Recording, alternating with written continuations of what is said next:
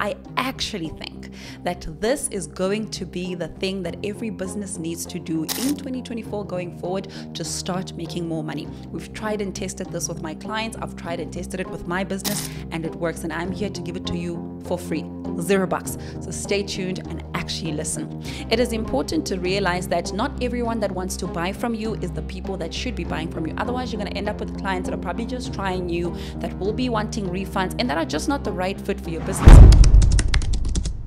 Hello there, and welcome to the Resonate podcast. My name is Michelle Expert and I will be your host.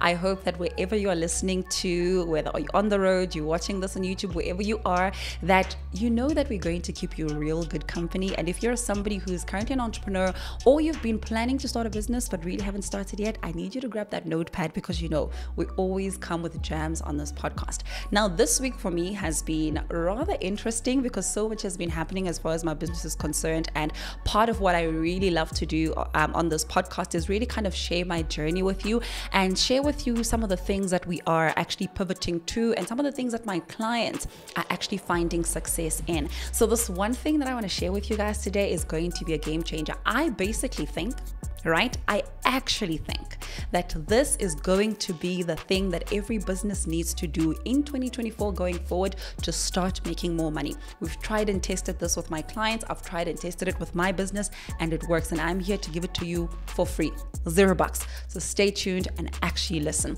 So before we get into the secret sauce that I want to share with you, I want to read a piece of research that I actually um, stumbled upon when I was thinking about this concept because I was really trying to ask myself, like, why is this, why does this work? So I want us to just start from the back a little bit. So this research is from the University of Western Cape, and they basically say that 1% of micro enterprises that start with fewer than five employees grow to employ 10 or more people.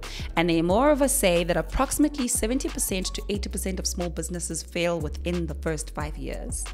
I don't know about you, but that is not good statistics. It is important that when we start businesses, they grow beyond five years because essentially growing beyond five years mean, means that we are employing more people and we're growing and we're growing a lot more global. Now, this research also says that quite the big reason that some of these businesses also close is obviously the pandemic that we've just moved from um, and also the interest rates that continuously are going up inflation etc etc but one of the biggest things that they actually mentioned which they said that they have seen because they've got all the stats around what kind of businesses are closing right now. But one of the most crucial thing that has been at the center of the closure of this 70 to 80 percent of businesses that are closing within the first five years is the lack of business skills. Now my hope for this podcast, my hope for this um, um, current podcast that we are currently filming this episode right now is that you are able to take everything that we are talking about, you apply it in your business, and you're able to make more money. Because essentially, when you're grossing more sales and you're grossing more profit for your business, you are able to grow more and expand your mind more. And I know that entrepreneurs who are continuously applying their minds more are definitely entrepreneurs who are going to win. So I hope that you are with us and I hope that you continue to walk this journey with us. Now, the secret sauce that I think is going to really change the game for a lot of businesses in 2024 going forward is providing free education. Now, I know there is a lot of misconceptions around that because people are probably asking themselves, well, Michelle, if I gave them free information or free education around my industry, my product, or my service, will they still come to me? Maybe they will then, they don't have to pay for me to, to work with me, maybe because I will now have given them all of this free information. But that is not true. And I really want to take you through why this is something that is important. The first reason why this is an important thing to do is that it helps you build trust and credibility. Now, this is is important because people buy from people that they like. And essentially, when they like people, they trust you, and you actually are able to build that credibility that you know your stuff. Providing free information gives you that opportunity with your clients, with your market, and with everyone that is basically watching. Because I would rather go to somebody who definitely knows what they're talking about, who has shown me that they know what they're giving about, that what that they know what they're talking about, and they are valuable, and I would go and be able to spend my money with them. The second thing is it increases brand awareness. Again, you're obviously in a market that is not necessarily oversaturated, but that is a lot of other businesses that are doing the same thing in it. So, how do you stand out? How do you increase your brand awareness to show that you are here? Not a lot of people are providing free education, so you really want to be at the forefront of actually doing that. The third thing, quite similar to the first, is that it differentiates you from your competitors. Remember, I said to you in the beginning that a lot of people are asking themselves, like, why should I provide um, free content? They basically don't want to give people free information because they think that people are not going to buy from them, people are not going to be with them, people are not just going to. It's almost like you feel like you've already given what you're selling for free, so why will people buy it? But if you do that and we do this strategically, people will trust you a lot more, and essentially they will then come to you because you have shown yourself to be different from your competitors. The fourth thing is it drives engagement and interaction. This is so, so important, right? Engagement and interaction is so crucial to sales because if people are engaging with you, it means that people are interested in what you're talking about and what you're sharing. And if they interact with you, you've basically kind of moved into a couple of hurdles as far as selling is concerned. What's left after they interact and engage with you is basically the sale because they are interacting mainly because they either agreeing with you or they've got more questions for you to build up on and continuously give that free information so that they have more clarity to make the buying decision. Do you get it? It's so, so, so important. The fifth thing, and I think this is far much more important than the rest, is that it attracts qualified leads. Now, this is a very important conversation that I want us to have another time. It is important to realize that not everyone that wants to buy from you is the people that should be buying from you. Otherwise, you're going to end up with clients that are probably just trying you, that will be wanting refunds, and that are just not the right fit for your business. So, in order to mitigate that, you really want to start qualifying your clients. Qualifying your clients is basically the process where you kind of figure out whether or not this is the right client to invest your time and energy in to convince to buy from from you. Now, when you provide this free information, you provide this free edu- education in your market, what you essentially do is that you are now then attracting the clients that are glued in, that are watching, that know you, and that have kind of followed your trail of, of, of information to come to you and eventually say, oh, okay, I understand A, B, C, D, and E, and now I want to make a buying decision. Versus people who just saw an ad and then they clicked and they're saying they want to buy, but they don't have, they really kind of haven't figured out what their needs are. They really even don't know yet if you are the right person, and then you want want to invest all your energy into those people, you might waste your time. You always want to spend your time on the clients that are important enough for your time, and we really know which client is important enough when we qualify our leads because then we know how to direct our energy and we know that we direct our energies to somebody who's going to afford what we are selling. That is important and we'll have that conversation another time. The sixth and the last thing is that it establishes authority. Again, super important, right? If, for instance, people are looking for the best person in the makeup industry, they will go to the person that has established authority and they have established authority by showing that they know more than the other people. You want to be the top. You basically want to be at the 1% of your industry. You want to be at the top. You want to be where when people are saying these are the best 10 people in this industry, you want to be there because once you have established authority, once again you can charge much more. You can you get better clients that are not even going to give you a hustle because you don't have to prove yourself 10 40 30 times to them. But they know that you are a voice of authority in this industry and you are somebody of your business has authority in this industry and they want to buy from you. This is why it is important for you to provide free education within your industry within your your your your market and on social media. And again every time we talk about providing free education, I know social media is the buzz right now, but there's a lot of ways we can do it. And the second part that I want us to get into now is the how you are going to do this. Remember, on this podcast, what I am really focused on is to give you applicable things that you can go ahead and start planning and doing right away. So at the end of this episode, I would really love for you to actually come up with a strategy on how you're going to do this for your business and start implementing it right away. My coaching clients will tell you that literally every time after the session, you basically have to apply something immediately. And I want to see results the next time we meet. So I hope that every single week, whenever we're talking about all these things, I'm giving you all these strategies, every single week when you come back, you've got something new, or you've even developed a strategy for yourself that is already on its way to working. Yeah. So that becomes important. So let's talk about how to do it. Now, the how to is the fun part because we've kind of spoken about why it is important. You want to do that for yourself. Now, how do you do this? The first thing you can do is blogging.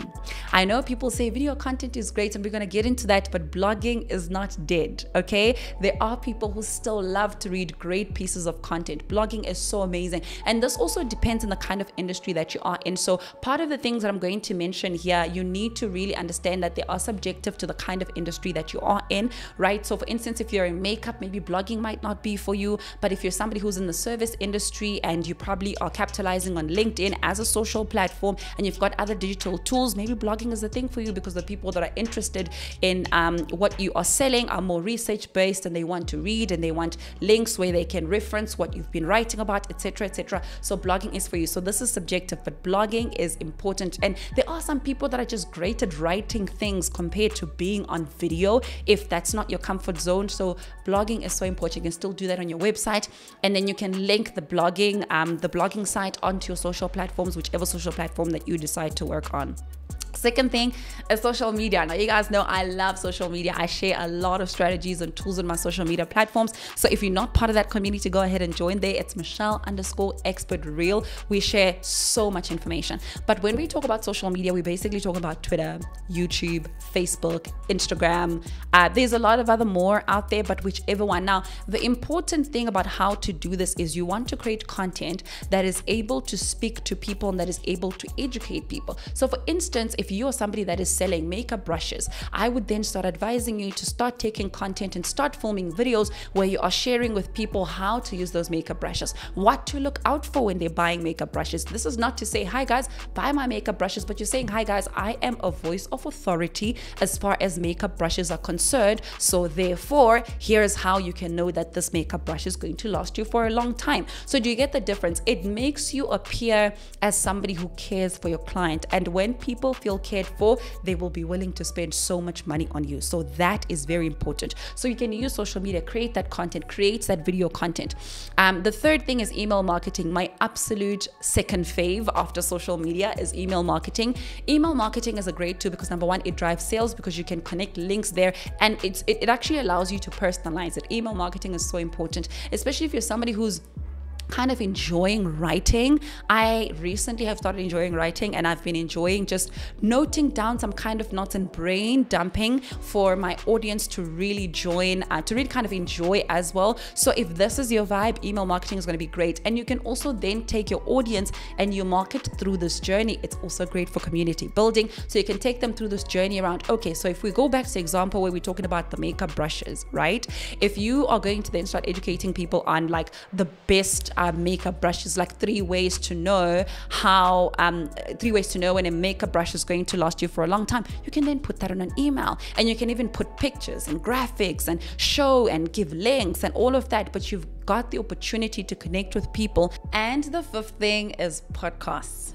You are listening to this podcast right now because we are giving our community our audiences and people at large free education.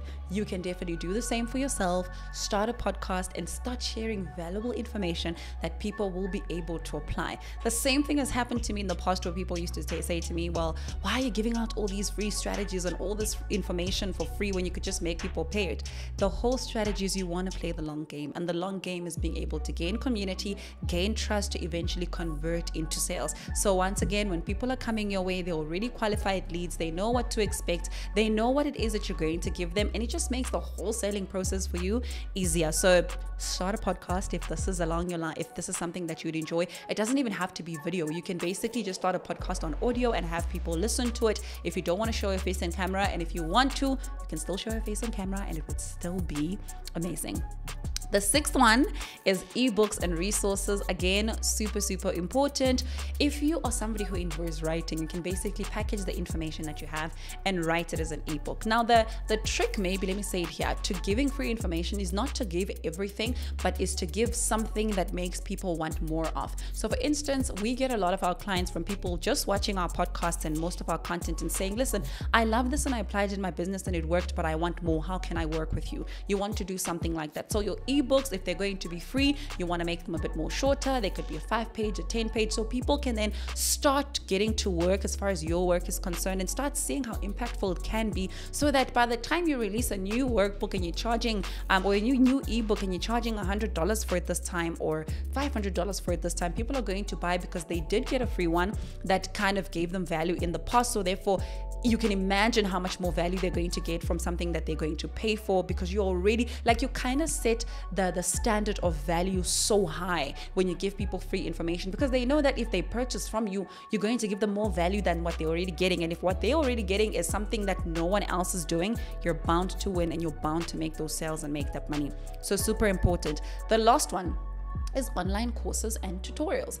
Again, so important like the rest of the other things that I mentioned. You can do free online courses. And I think we easily get overwhelmed every time we talk about um, um, online courses because we think it has to be like seven modules and like 28 videos. A course in this day and age can basically be four videos with four workbooks that people can take over four weeks. It could be that simple. You know the people in your industry, what their attention span is, what would they find valuable, how do they enjoy working. You obviously also might be speaking to people who, let's say, are at work, people who are busy. So you you can't have class every day because this is not university and people don't enroll for that when they're doing online courses. But you want something that is probably very well self-paced and you can definitely do something like that. You can even do like a three-day course where it's three videos and three workbooks that people can do on a daily basis and make this free. But the important thing i want you to realize with all these pointers that i'm mentioning is that they're 100% doable but also you have to tailor them to your industry to your audience and to your people. If you know that in my industry people are interested in knowing about makeup and knowing about brushes but it's not the core thing that they really want to be part of then you don't want to do, give them something that they have to kind of watch every day, but you want to give them something weekly because they can watch it on a Sunday when they're relaxed. They can watch it on a Saturday or on a Friday after work. But if you know, like, okay, I'm talking to entrepreneurs who basically want to do something every other day to improve their skills, maybe then give them that frequent content. But you know, when you'd have to do a bit of research, and the best way to do research, we'll talk about this another time, but I'll leave you with this it's to basically see what your competitors or the businesses that you aspire to be are actually doing because you can just take a similar strategy, tailor it to what you're already doing, and then advance it and then launch it. Very easy. But what I want you to get from this podcast episode is that you have to stop providing free information to your audience. Free education, free education, free education. That is how we make sales. It does not matter what industry you are in, it is going to pop off. And if you can already see, people are beginning to buy from people that they actually trust and companies that they trust. So, for instance, people will come and buy from you because you're showing your face on camera and they can see you and you're constantly present and you're consistent with your education. Consistency is also very much key because if you give people free education today, then you disappear and then you don't come back in a month and then you do whatever, whatever it is people are not going to trust you. So if you're committed to giving people free education, you have to make sure that it is consistent because when you are giving free information, you're basically kind of saying to people, this is what it is like to work with me. So if you say this is what it is to work with me and you're giving value, you're giving consistency, you're giving kindness, you're giving upliftment, they automatically know that should I invest a thousand dollars in whatever program or whatever thing that she's selling or he's selling, I'm definitely going to get this and even more. It's your way of advertising your value or the value of your offering. So it is important for you to do. Okay, now always these sessions are like a mini masterclass, and I really hope that you can take everything that I've shared, you can note it down and start coming up with a strategy for yourself, for your business, and for whatever it is that you want to do, whatever it is that you've, that you've been planning to do, and get to action. That's the one and the most biggest thing that I'd love for you to do for me. Except subscribing and liking and leaving a comment and letting me know what you thought about this video. I want you to apply all of these things that we share. And with that said, I hope that we've kept you good company. I hope that this episode was so valuable. Again, these are strategies and these are tools that we use for our clients these are also tools that we use for our business as well. And I have no doubt that when you apply yourself, they are definitely, most definitely going to work from you. So I love you guys so much. Thank you so much for tuning in wherever you are. And we will see you in the next video.